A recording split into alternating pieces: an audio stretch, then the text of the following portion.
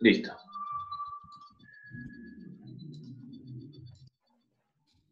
¿Pueden ver el video, chicos? Sí. Listo. Muy buenos días, chicos. Ya saben, mi nombre es profesor Jair. La clase de hoy es las normas y el estilo de crianza en la familia. Ya, ya, no, no, por mi. Ahora, cuando hablamos de familia y las normas, ¿ustedes qué imaginan? A ver si le pregunto a Luis. Luis, puedes activar tu micro. Ya saben las reglas, ¿no? Las normas que nosotros vamos a tener. Yo voy a hacer preguntas a un alumno específico y el alumno que, al que yo le estoy preguntando es el que me va a responder. ¿Estamos de acuerdo? Sí. Ya. A ver, ¿qué pasó con Luis? Ya, bueno, Dante, ¿estás ahí? Creo que tu micro no funciona, pero puedes escribirme al chat. Sí, profe. Sí, profe. Ya, Dante, ahora sí. Dime, ¿qué imaginas cuando yo hablo de normas?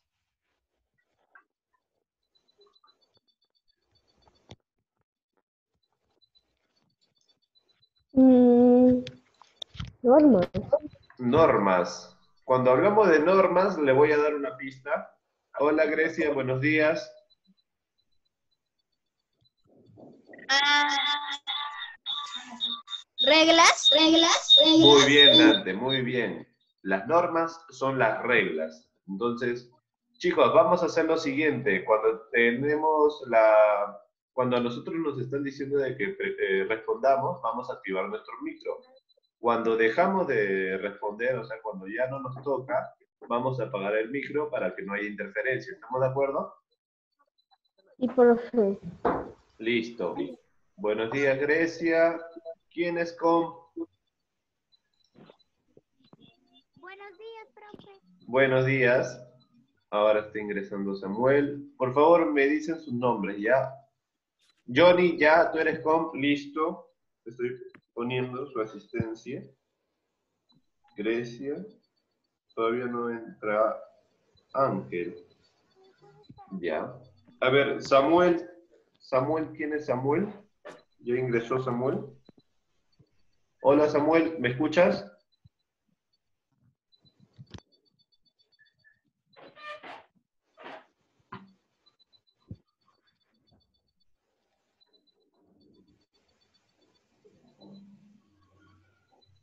Ya. Todos me escuchan, ¿cierto? Sí. Listo. Es normal que perdamos un poquito de tiempo, ya que estamos todavía acostumbrándonos. Ahora sí, vamos a empezar. Cuando hablamos de normas, estamos hablando acerca de reglas. ¿Está bien? Chicos, recomendación. Cuando voy a hacer preguntas, yo voy a decir quién de ustedes va a responder. Cuando digo, por ejemplo, Johnny, eh, te hago esta pregunta, Johnny es el único que va a activar su micro. Mientras tanto, lo vamos a mantener desactivado. ¿Está bien? Buenos días, profesor. Buenos días, Johnny. ¿Estamos de acuerdo con la norma que estoy dando ahora? Listo. entonces- ya, no te preocupes, Johnny. Desactiva tu micro. Listo. Ahora sí, cuando hablamos de la familia y la norma, nos estamos imaginando entre las reglas que la familia nos va a enseñar. Recuerden que en la familia nosotros vamos a aprender valores, educación, y es el primer lugar donde nosotros nos vamos a formar. En este caso, vemos en... A ver, vemos... Pueden ver el puntero, ¿cierto? Hágame solamente un gesto con la cabeza. Hola, Grecia. Muy bien. Listo. Eh, en el primer ejemplo vemos a un niñito que le está entregando una billetera a un, a un señor, si se dan cuenta. Entonces, ahí podríamos decir que tienen buenos valores o no. Piero, te, te pregunto a ti.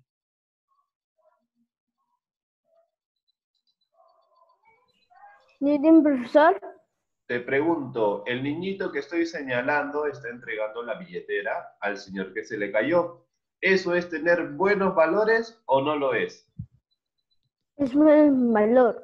Muy bien, sí, tienen buenos valores. Pero en el segundo caso, ahora sí desactivamos el micro, en el segundo caso vemos un niñito que no está entregando el dinero, más bien todo lo contrario, ¿no? Está, al parecer, robando, ya que está muy preocupado de que alguien lo vea. Entonces, Grecia, te pregunto a ti, ¿el niñito estará bien educado o estará teniendo valores en sus acciones? ¿Me, me puede decir de qué imagen, por, por favor? La segunda, donde estamos viendo a este niñito, Ah, no, no tiene buenos valores. no tienes buenos valores. Muy bien, Grecia. Ahora, cuando hablamos de las normas y estilo de crianza, entonces ya nos estamos imaginando una idea, ¿no? Recuerden que la vida en la familia va a implicar ponernos de acuerdo y establecer normas y formas de comportamiento consideradas correctas. Recuerden que las normas o las reglas van a ayudarnos a poder mantener armonía en la familia. Yo sé que no todas las familias son perfectas, incluyéndome, pero eh, las normas de alguna manera van a permitir de que nosotros podamos estar bien entre nosotros. Imagínate, eh, en la familia de Yair, él tiene seis hermanos. Uno de sus hermanos eh, utilizó la ropa de Yair. ¿Eso será bueno o será malo? Obviamente no lo es. ¿Y eso va a crear un conflicto? Pues sí, se- seguramente que sí. Entonces, si se dan cuenta, las normas van a evitar que se generen conflictos y van a hacer de que en vez de realizar conflictos, vamos a tener una convivencia buena, armónica, agradable, ¿cierto? Recuerden que en la familia, las primeras normas, ya saben, es, eh, la vamos a desarrollar en este campo. Ahora vamos a tener dos tipos de normas, las explícitas y las implícitas. ¿Cuáles son las normas explícitas? Cuando la familia te lo dice claramente, o sea, te lo explica. Y las implícitas, cuando la familia no te lo explica tal cual, pero tú ya más o menos tendrás que asumirlo, ¿no? O sea, lo imaginarás, se espera de que tú lo, lo sepas. Por ejemplo, en la primera, en el primer ejemplo que vemos a la derecha, vemos un niño que está ayudando a una anciana. Entonces, aquí vamos a ver una norma explícita. ¿Cuál es la norma explícita? De que el niño eh, en su casa de repente habrá sido educado a tener buenos valores y a apoyar a los que lo necesitan. Y en este caso, por ejemplo, el agradecer. Cuando alguien te da un obsequio, en la familia te, te, dijeron por qué tienes que agradecer o todo ello, ¿no? La familia espera que tú lo entiendas, ¿no? Es cuestión de modales, te lo dice. Así encontramos muchas normas explícitas, aquellas que te dicen, ¿sabes qué? Esto, las cosas son así, y las implícitas, donde la familia espera que tú lo entiendas. ¿Está bien? Como por ejemplo, no robar es algo que será implícito o explícito. Te pregunto a Samuel.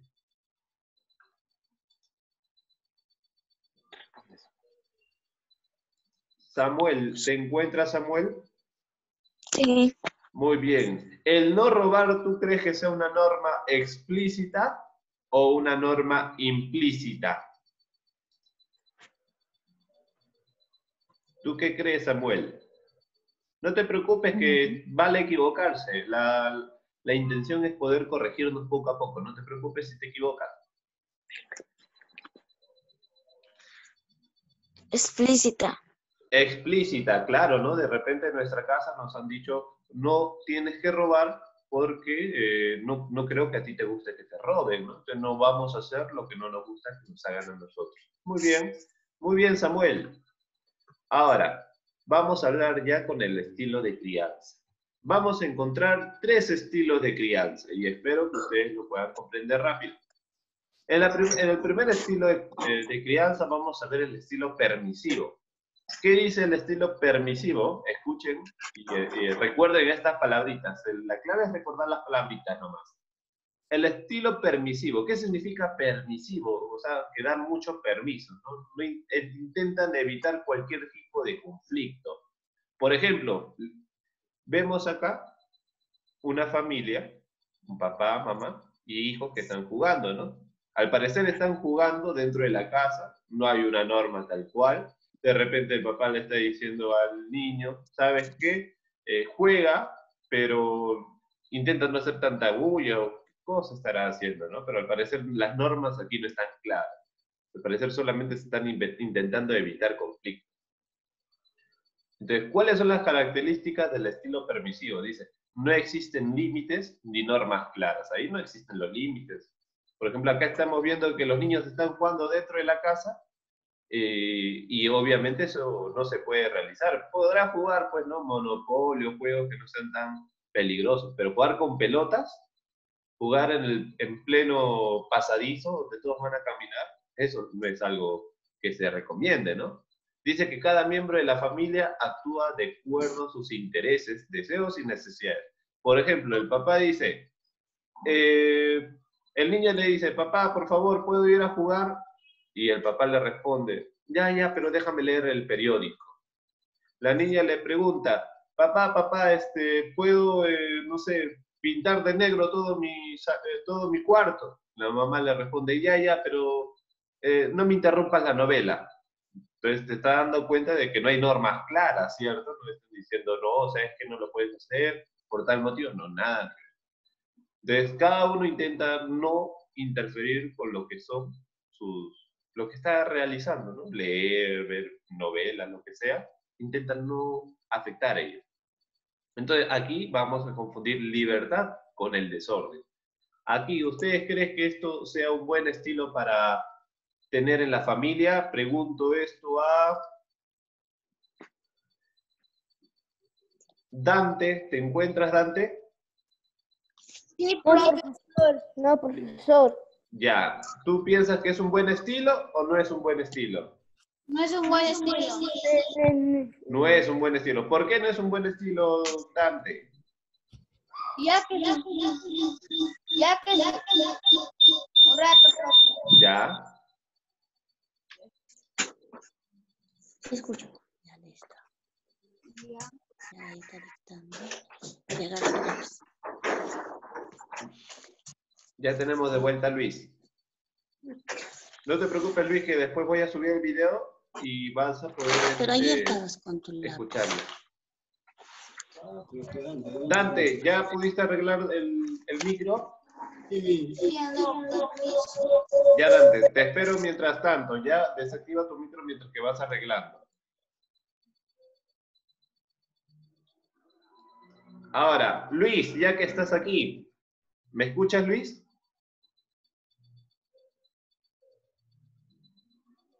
Luis. Bueno, parece que Luis aún no me puede escuchar bien. Entonces, Johnny, activa tu micro. Acá estoy. Listo, dime, ¿el estilo permisivo será un buen estilo para la familia, sí o no? No. ¿Por qué? Porque no hay normas. No hay normas. ¿Y qué, ¿Y qué puede pasar si no hay normas? Haga cualquier cosas. Se pueden lastimar, se pueden hacer daño. ¿Mm? pueden inclusive llegar a, tener conflictos en la familia, ¿cierto? Muy bien, Johnny, gracias. Pierito, también te escuché, muy bien, pero vamos a activar según lo que yo les esté pidiendo, ¿ya? Sigamos. Ahora vamos a ver, ya vimos el estilo permisivo. Ahora vamos a ver el, estilo autoritario. es un estilo que habitualmente vamos a ver. De repente hemos escuchado a algún amigo que, que está hablando de su familia, entonces vamos a ver si este es un estilo habitual, ¿ya? ¿Cuáles son las características de este estilo autoritario? Si el estilo permisivo no tenían límites y normas claras, en el autoritario vamos a ver, miren, ¿ah? los padres ya no van a intentar preguntar si las normas son buenas o no. Ellos ya tienen normas claras y esperan que tú lo cumplas. Y no hay acuerdos, ahí no nada de que papá, mira, lo que pasa que esto es lo que sucedió, dame un poco de chance. Imagínense que de repente este niño, este niño se llama el pequeño Yair. Al parecer el pequeño Yair eh, quería traer un animal a su casa. Él había, había hablado ya con su mamá, le había dicho, mamá, si yo me saco muy buenas notas, voy a traer un animalito. Ella le permitió. Pero el papá, cuando vio el animal, le dijo, aquí no se aceptan animales y eso es todo.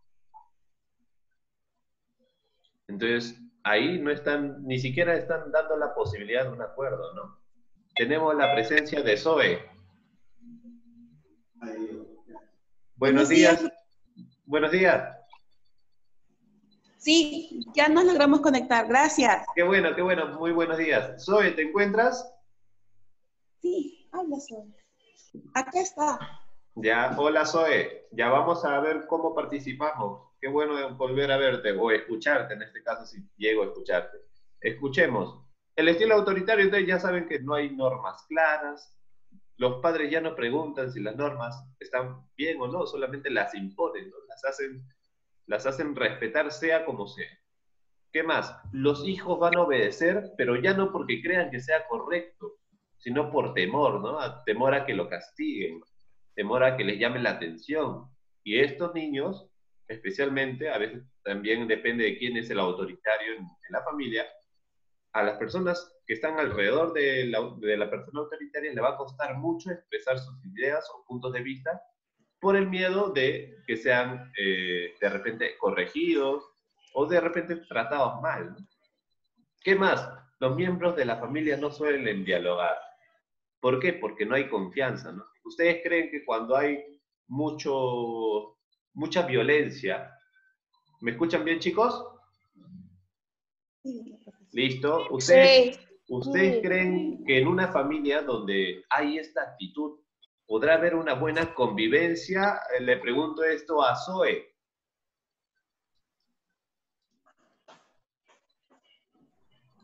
Zoe, ¿te encuentras? Mm, profesor. Ya, te escucho. Dime, en el estilo autoritario, ¿tú crees que haya una buena convivencia? O sea, la- las personas que son parte de la familia podrán estar felices. No. ¿Por qué tú crees? Mm, ¿Tú crees que puedan hacer saber sus puntos de vista, sus ideas, cómo se sienten con facilidad o van a tener miedo? Mm,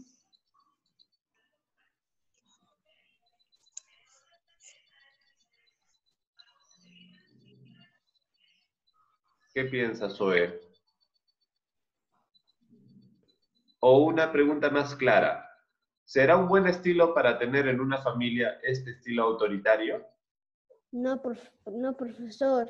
Muy bien, Pierito. Pero Zoe, te pregunto también a ti. ¿Será un buen estilo sí o no, Zoe?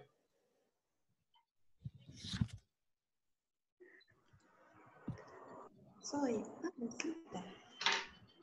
Bueno, vamos a ver qué es lo que pasa. Ojalá que más adelante ya Zoe quiera participar. Sigamos con el, el estilo democrático porque no va a faltar el tiempo. En el estilo democrático dice que existe igualdad de, de derechos entre todos los que son parte de la familia. ¿Está bien? Muy bien, Dante, muy bien. Estoy leyendo los chats. Dice, aquí miren, ah, hay igualdad, todos los miembros de la familia valen lo mismo. Dice que hay un buen diálogo, la comunicación y el respeto son constantes. Aquí va a haber una, una relación de respeto. Dice que también se van a establecer las normas por medio de acuerdos que van a tomar todos los miembros. Por ejemplo, a, a Juanita le toca lavar los platos to- de lunes a miércoles. A Pedrito le toca sacar la basura de jueves a sábado. Al papá le toca, imaginemos, cocinar y a la mamá le toca, imaginemos, llevar la ropa a la lavandería. Entonces, aquí hay acuerdos, hay, este, hay normas que cada uno tiene que cumplir, hay responsabilidades que cada uno tiene que cumplir. Entonces, chicos, yo les pregunto, de estos tres estilos, ¿cuál de estos tres estilos les parece conveniente? Grecia, te pregunto a ti, ¿cuál, es, ¿cuál de estos estilos te parece mejor de poder tener en una familia y por qué? A mí el estilo que más me parece es el estilo democrático. Muy bien, ¿por qué? Al haber una convivencia, nadie tiene que tener miedo y se entienden mejor. Muy bien, Grecia, muy bien. No te preocupes, Zoe, yo te entiendo, yo te entiendo. A ver, eh, Piero, ¿Qué? te escucho. Dime, ¿cuál de estos tres estilos te parece mejor? Familia. ¿El permisivo, autoritario democrático? Democrático. Muy bien, Pierito. Johnny, te escucho a ti. ¿Cuál prefieres? ¿El permisivo, el autoritario o el democrático? No te escucho, Johnny. Activa tu micro. Tu micro está desactivado. Sí. democrático. Ah, Johnny. ¿Por qué, Johnny? Se negocia. Se negocia, claro. Pero no vale trapa, no vale ayudar, ¿ah? Te estoy escuchando. Luis, te escucho. Estoy acá. Te escucho. ¿Cuál es el estilo que prefieres?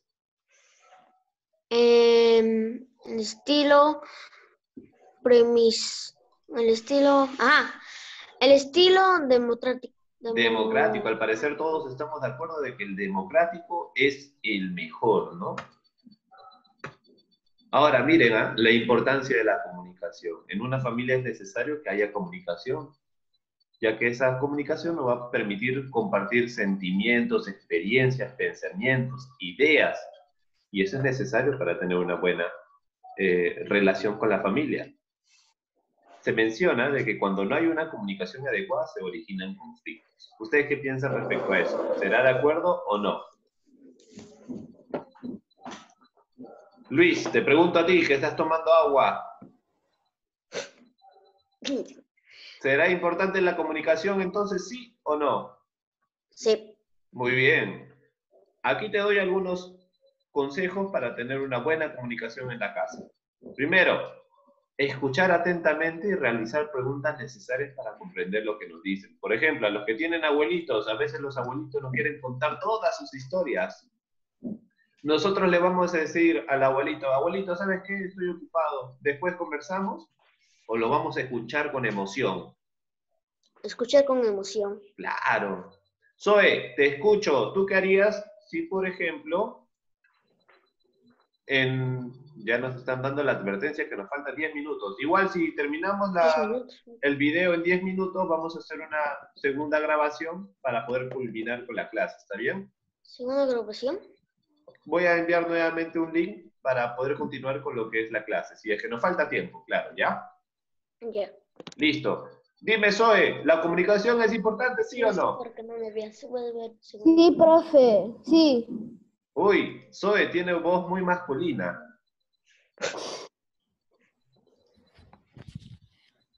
Zoe, tú y todavía no, no activa bien su micro.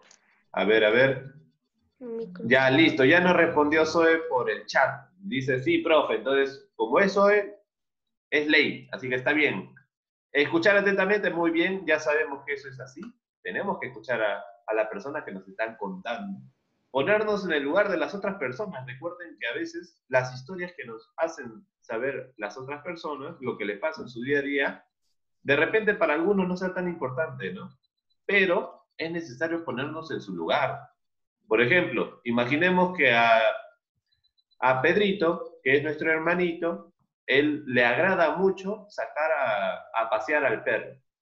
Y él cuando te está hablando acerca de cómo lo saca a pasear, te cuenta a dónde va el perrito, cómo está oliendo todo lo que, este, todo lo que ve, y tú vas a decirle, es obvio que lo va a hacer, es un perrito, ¿no? Es lo que hace, o le vas a prestar atención como se tiene que hacer. Pregunta para Grecia.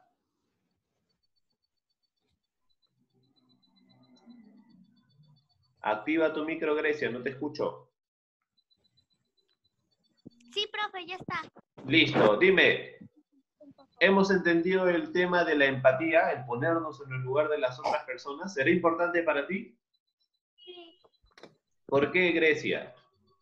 Muy importante porque si nosotros somos empáticos, podríamos inspirar a las otras personas y, y ellas también podrían ayudar. Podríamos hacer un mundo mejor en teoría y también esto sería mejor para la convivencia entre todos. Muy bien. ¿Estamos de acuerdo, chicos? ¿O hay alguien que quiera opinar algo más? Muy bien. Continuemos. Listo, Zoe ya nos dio su visto bueno. Compartir nuestras experiencias es necesario, las preocupaciones, necesidades, por ejemplo. Eh, Juancito está bajo en las notas. Juancito es nuestro hermano, es nuestro hermano, está bajo en sus tareas. ¿Es bueno de que Juancito no diga nada a su familia o sería mejor que él pueda buscar ayuda en la familia? Ayude a la familia. Muy bien, Luis, te escucho a ti. Activa tu micro, listo. Desactivado. ¿Será bueno poder compartir nuestras experiencias con nuestra familia? Mm, No. algunas veces. Algunas veces, ¿no? Hay algunas cositas que podríamos guardar, pero en su gran mayoría podemos con- contarlo, ¿no? Yo no tengo otro hermano. Listo. Interesarse por el estado de los miembros de la familia, ¿no? Intentar ayudar. Si vemos una, a uno de nuestros parientes que está mal, obviamente nosotros no lo vamos a ignorar, ¿no? Vamos a tener que escucharlo. Acá tenemos dos ejemplos. Mira, aquí vemos a un abuelito. Vemos a un abuelito que está conversando al parecer de sus experiencias, ¿no? Imagínense qué pasaría si el papá y el hijo no le prestaran atención. ¿El abuelito se sentiría bien o se sentiría No. triste? Triste. Muy triste, ¿cierto? Sí. Muy bien, muy bien. A ver, alguien ingresó, Caterine Mejía. ¿Quién es Caterine Mejía?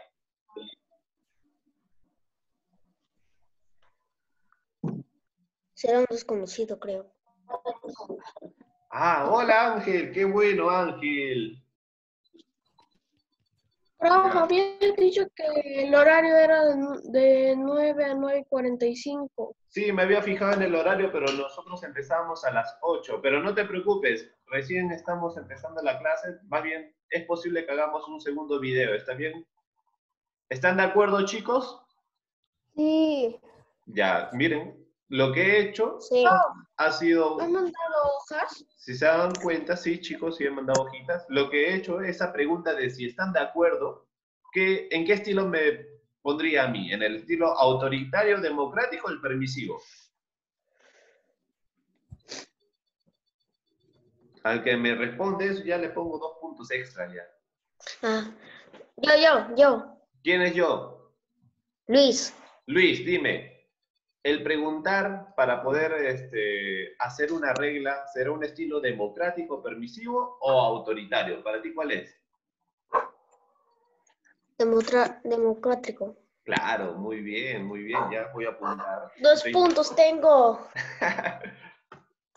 Ahora, los valores en la familia, ya recuerdan de que los, los valores son importantísimos, ya lo vimos en la primera imagen, ¿no? Aquí vemos unos ejemplos, por ejemplo, eh, para poder mejorar lo que es los valores en la familia, aquí vemos ciertas actividades, como por ejemplo, la solidaridad, ¿no? Aquí están colaborando todos en mantener limpios un hogar, también el apoyo que se están dando también en la primera imagen para poder encargarse del jardín, ¿no? Aquí también vemos el valor, el, el valor de la tolerancia, ¿no? la empatía. Imaginemos aquí la niña le está explicando a su hermanito su tarea que no sabe realizar. Entonces, por más que vaya a repetir una y otra vez, si se dan cuenta, la niña está intentando apoyar, ¿no? Esos son valores que a través de los juegos también podemos practicar. Y ahora vamos a pasar al tema de las actividades. Creo que sí vamos a poder culminarlo. O hacemos otro video Tengo un montón de actividades, profe. ¿Empezamos las actividades, chicos? Sí. ¿O empezamos en el segundo video las- la resolución de las actividades? Porque ya nos quedan tres minutos. ¿Les parece si envío nuevamente un nuevo link para enviar nuevamente, para hacer nuevamente la clase? Solamente de las actividades. Sí, Eh, sí. ¿Ya? Para que no se corte en- en- mientras le estamos resolviendo. ¿Está bien, chicos?